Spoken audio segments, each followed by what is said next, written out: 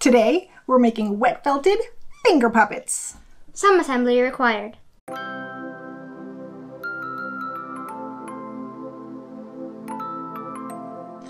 was thinking about wet felting the other day, like you do, and I was thinking it would be the perfect way to make custom fit finger puppets because you could just make them right on your fingers.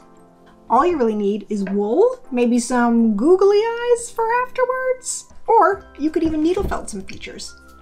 Let's get felting! I've started out by separating the wool into thin strips. That helps keep it from getting all lumpy while you're felting.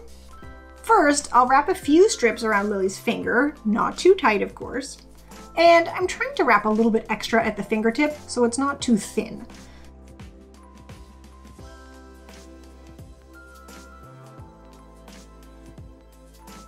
The next layer of fiber is going to go the long way over the fingertip from front to back, and another from side to side.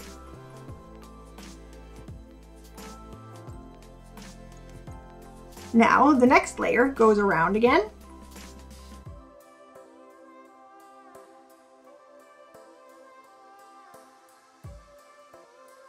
And finally, I'll add even more to the end. I'm really trying to get full coverage. Switching the direction of the wool fibers for each layer helps to make sure that everything felts together as thoroughly as possible, and lessens the likelihood of annoying holes. Now, we'll soak all the wool with nice hot water, but not too hot. There's still a finger in there. Add some dish soap, and let the felting begin. Initially, you want to be pretty gentle so the fibers don't slip around from where you put them. Really just squeeze the fiber for a while. Eventually, you can move on to rubbing. Uh, we're using some bubble wrap to increase the agitation without having to rely on our poor knuckles. The bubble wrap definitely helps to speed up the felting, but it still takes quite a while. When you are satisfied that your finger puppets are well felted, you can rinse them in cold water, squeeze them out, and let them dry. Another option, if you don't want to build a puppet on your finger, or maybe if you wanted a different shape, is to cut a piece of craft foam and use that as your resist instead of your finger. You just wrap your fiber around the same way and start felting.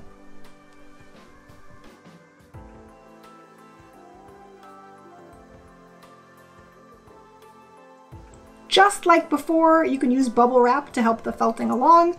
Eventually, you may want to peel the puppet off the foam to finish up the felting. And now the puppets are dry and ready for features. I gave the red one magnet eyes, like the ones that we made a few videos ago. Mostly I was joking, but it could actually be a cool way to give your puppet changeable expressions. Just sort of make a face on a piece of magnet and change it whenever you want to. As you may have noticed by now, I can't resist the siren call of a googly eye, so red and blue will get those. Orange here will be getting a needle felted face, and I'll also felt his gaping hole closed. Apparently I missed a spot. I'm just felting everything on with shallow pokes because not a lot of foam fits up into his head. Ah, there we go. Perfect. I thought that my puppet needed a smile too. And here they are, looking terrific. Hey, we are great! Don't forget to like, subscribe, comment, share, all that stuff. And make finger puppets. Time! New videos come out on Tuesdays